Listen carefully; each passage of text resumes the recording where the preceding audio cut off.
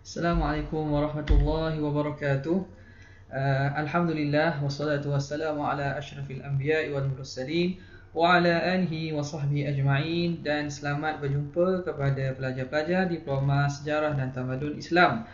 Okey, insya-Allah uh, saya akan bersama dengan anda pada semester ini untuk sama-sama kita uh, menyelami, mendalami tajuk fiqh muamalat ISF 1022.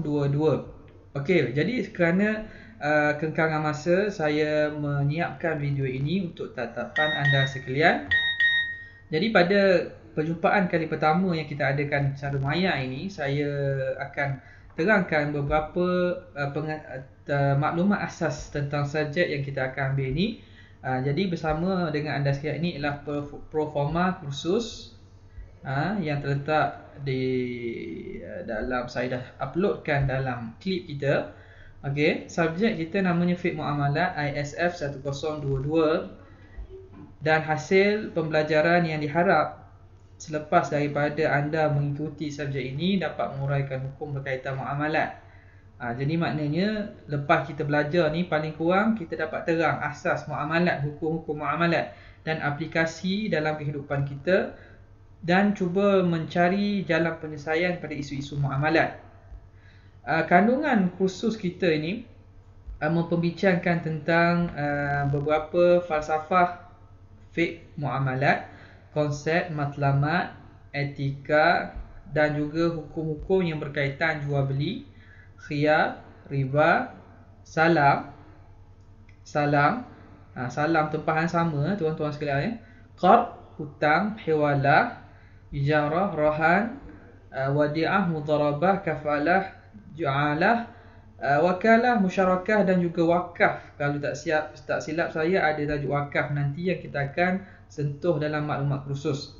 Okey, jadi yang pentingnya untuk anda ketahui bahawa pembahagian pemarkahan kepada dua. Kerja khusus atau penilaian berterusan ni 50 markah dan peperiksaan akhir, akhir 50 markah. Jadi dalam 50 markah ni kami telah uh, pengajar-pengajar fiqh muamalat dah bersetujulah untuk menjadikan ujian 1 10%, ujian 2 10% dan penilaian individu. Ah, masing-masing pensyarah akan nilaikan ah, mungkin saya akan buat kuis kepada anda atau mungkin saya akan bagi tugasan individu 10 markah 10 markah dan juga yang akhirnya ialah tugasan berkumpulan 20 markah yang kita akan bincangkan dalam kelas nanti. Jadi saya telah berhubungi uh, ketua anda. Dia beritahu jumlah anda ialah uh, jumlah yang ada sekarang ialah 40 orang. 16 lelaki dan 24 perempuan. Uh, jadi kumpulan tu kalau boleh saya hendak setiap kumpulan terdiri daripada 4 orang. Uh, setiap kumpulan terdiri daripada 4 orang sahaja tidak boleh lebih. Uh, 4 orang sahaja. Okey, dan peperiksaan akhir yang kita akan uh, lakukan bernilai 50% Ha, mengenai maklumat semasa kursus Kursus ini kita akan gunakan rujukan utama kita Ialah uh, kitab Al-Fiqh Al-Manhaji Ala Madhab Imam Al-Syafi'i ha, Kitab Fiqh Manhaji yang biasa kita dengar kan? Fiqh Manhaji ini bahasa Arab ya Bahasa Arab ha, Jadi pengajaran ataupun uh, rujukan utama kita Ialah Fiqh Manhaji dalam bahasa Arab. Jadi kalau boleh saya harapkanlah bahas dalam di samping kita tahu tentang hukum muamalat kita dapat belajar bahasa Arab. Dan saya galakkan percakapan bahasa Arab dalam kelas. Uh, walaupun perkara itu uh, sukar sikit di, di untuk di dibuat tapi kita insya-Allah akan cuba eh. Okey. Dan rujukan tambahannya ada beberapa uh, rujukan tambahan di sini Ha, tapi kita akan kebanyakan kita, uh, daripada kelas kita kita bergantung kepada nas-nas daripada kitab Fiqh Al-Manhaji.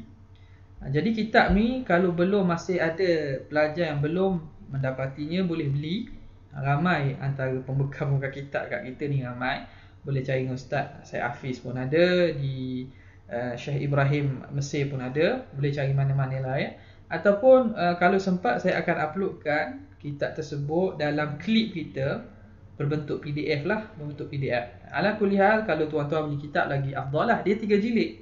Jadi tiga jilid eh kitab fiqh haji ni jadi kita guna jilid ketiga je. Jilid ketiga ni yang menumpu kepada bab muamalat. Okey.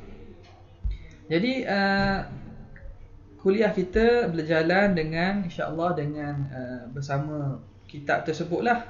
Tiap-tiap kali kuliah pastikan anda membawa bersama kitab. Okey, untuk menghubungi saya, saya berada di Blok Khalid Aras 2, bilik di kawasan pertengahan sikit ha, sebelah daripada ruang, ruang rehat tu. Dan ini nombor telefon saya. Jangan telefon saya kalau ada masalah masalah peribadi saya tidak nak campur. Kalau ada perkara yang penting sangat perkara yang melibatkan kelas dan seumpamanya ha, boleh anda telefon saya ha, ini email saya untuk menghantar apa-apa tugasan atau maklumat atau makluman.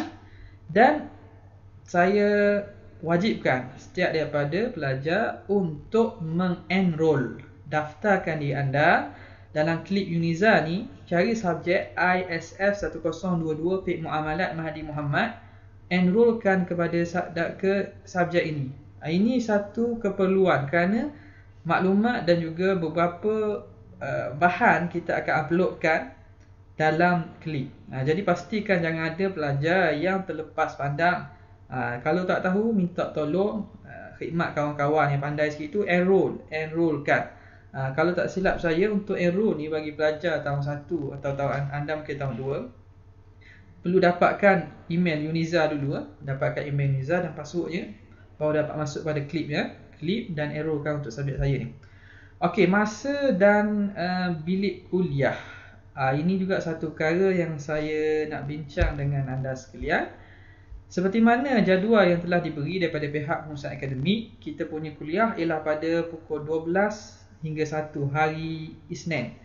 Semuanya hari Isnin, 12 hingga 1 di GA07 dan juga 3 hingga 5 GA06. Jadi kalau saya amat berharaplah kalau sesi petang ni 3 hingga 5 ni dapat dialih. Ah, dapat dialih ke masa-masa lain ataupun alih pada waktu pagi pun tak apa. Ha? Alih pada waktu pagi pun tak apa. Ha, jadi janganlah kalau rasanya tak berapa sesuai lah. Tengah hari tu kita dah belajar, lepas tu petang kita sambung belajar lagi 2 jam lagi. Ha, eloknya alihkan ni, saya harap ketua dan juga uh, wakil kelas dapat berbincang untuk mengalih fiqh muamalat. 3 hingga 5 petang ni hari Senin ni alih ke waktu lain. Ha, waktu lain pagi ha, pada hari uh, Selasa atau hari Ahad. Atau okey kok hari Selasa atau hari Ahad. Okey sesuai tu. Dan hari Khamis kalau boleh saya, saya rasa hari Khamis jangan kacau lah. Jangan kacau. Uh, hari pilih antara hari Ahad atau hari uh, Selasa okey seterusnya itu berkaitan dengan dengan masa eh kaitan masa tolong wakil kelas alihkan ini dan bincangkan dengan dengan uh, kawan-kawan anda dan maklumkan pada saya dan juga pada pihak pengurusan akademik ni tentang kelas. Kalau kita dah setuju masa tu, kita uh, tolong uh, tempah kelas untuk untuk subjek kita. Okey, kembali kepada tarikh-tarikh penting ni, insya-Allah mungkin dalam pertengahan semester baru kita buat ujian satu dan ujian dua itu makluman akan dimaklumkan dengan dengan dari semasa ke semasa. Okey, jadual pengajaran kita uh, untuk pengenalan definisi ni minggu pertama ni ha, seterusnya pembahagian kontrak menurut fiqh islami kontrak jual beli minggu kedua perjumpaan kedua kontrak tauliyah murabahah ini antara tajuk-tajuk yang kita akan sentuh monopoli ihtikar riba bai'inah tawarruk konsep salam istisna pada minggu ke-6 minggu ke-7 qardu hasan hawalah. Uh, minggu ke-8 kontrak gadaian Ar-Rahnu Minggu ke-9 Wadi'ah. Sewaan pada minggu ke-10 Wakalah pada minggu ke-11 Musyarakah minggu ke-12 Mudarabah minggu ke-13 Dan wakaf pada minggu ke-14 uh, Ini antara 14 minggu Tajuk-tajuk yang kita akan sentuh Dan insyaAllah Kalau kita sempat menyentuh semua tajuk itu Kita akan sentuh dengan secara uh, komprehensif dalam kelas dan juga anda-anda boleh uh, bertanyakan dalam klip. Uh, saya memang harap tolong enrollkan klip dan beri perhatian kepada maklumat yang sentiasa akan diupdate di klip. Uh, okay. Kemudiannya uh, untuk perjumpaan seterusnya kita akan masuk kepada tajuk pertama iaitu mukaddimah tentang fiqh muamalat. Mukaddimah tentang fiqh muamalat dan uh, mukaddimah pada kitabul buyu'. Kitabul buyu'. InsyaAllah kita akan sentuh pada minggu hadapan. Minggu hadapan hari Isnin. Hari Merdeka saya tak tahulah. Hari Merdeka mungkin kita tak ada kelas. Kita terpaksa kena tangguh pula. Kalau boleh tolong adjust, tolong tukar pada waktu yang segera supaya minggu depan kita dapat buat kelas kita seperti biasa. Okey, jadi uh, itu saja saya harap uh, tuan-tuan sekalian bersedia dan macam biasa pesanan daripada pihak penaja sebelum datang kelas tu tolong baca. Uh, kitab fiqh manhaji yang ada bersama kita ni telah diterjemah oleh ramai pengarang-pengarang dalam bahasa Malaysia. Terjemahannya pun telah dijual dan ada boleh anda dapati daripada Ustaz Syed Afi pun ada. Fitman Haji dalam bab muamalat ni kalau tak faham cari terjemahan dulu. Paling kurang anda tidak masuk dalam kelas dalam keadaan kosong. Jadi kita nak jadikan kelas tu lebih kepada uh, dua dua hala perhubungan ataupun per sesi pelajaran dua hala ada give and take. Ha, tak bolehlah awak dengar saja. Dengar saja saya bercakap. Awak pun bosan awak pun tidur ha, jadi awak biar ada pemahaman asas dan keluarkan isu-isu apa yang lagi awak tak faham. Ha, kita akan jadikan uh, insya-Allah cuba terapkan konsep student centered learning. Biar pelajar itu sendiri yang me- me- menentukan apa yang dia ingin belajar maklumat apa yang ingin tahu dan uh, pensyarah hanya menjadi tutor atau menjadi memandu arah me, me, melihat perkembangan itu dan menunjuk ajar apa-apa yang patut. Okey? Jadi itu harapan daripada saya.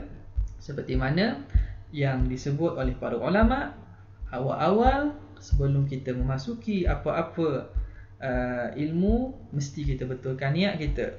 Yang kedua kita persediakan diri kita untuk menerima ilmu tersebut ha, dengan cara kerana ilmu tidak dapat dengan cara senang.